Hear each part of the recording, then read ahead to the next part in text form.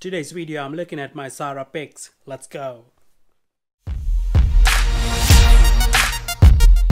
Hi, what's up everybody? Welcome back.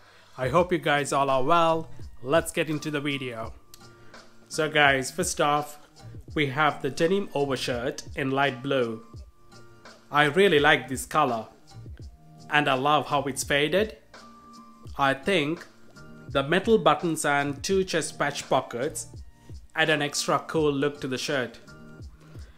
I also think this will look great with beige chinos and a white tee also.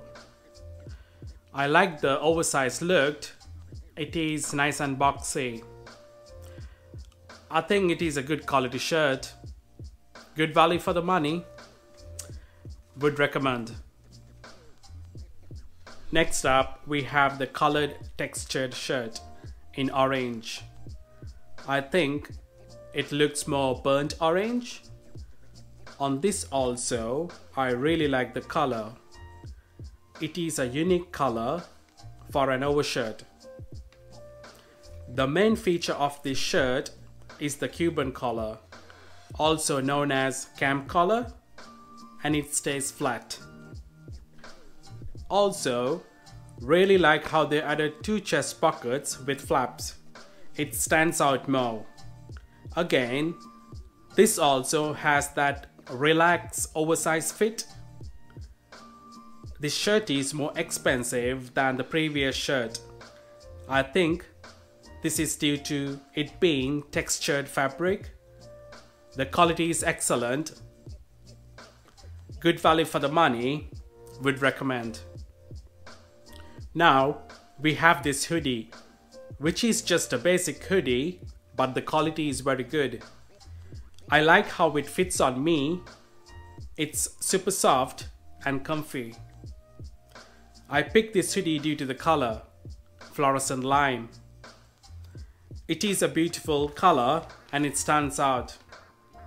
It's quite fitted, but I like that too. And again, it is super soft. If you prefer a loose fit, I would recommend going up a size or two. Good value for the money, definitely a keeper.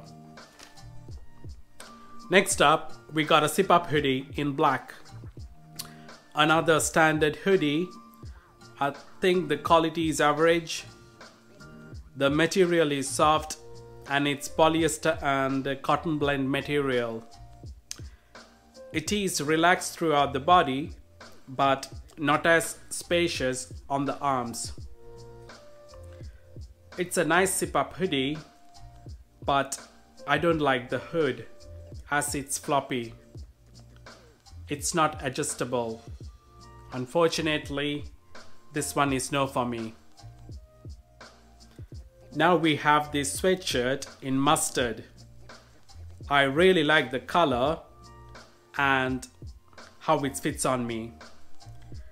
I really like how unusual this sweatshirt is with the short boxy sleeves.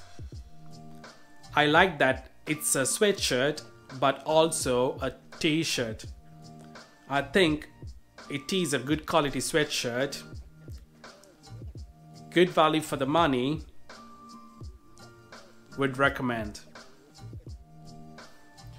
Finally, we have this basic bomber jacket in black.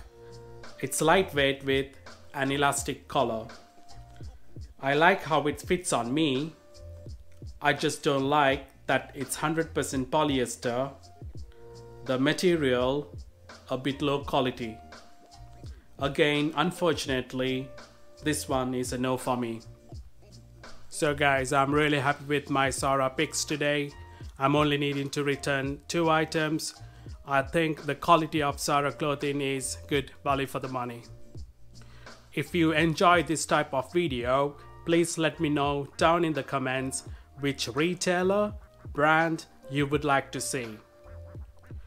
So guys, my question for you today is, what's your favorite piece out of my picks? Comment down below, hit that like button and make sure to subscribe for more videos. See you next time.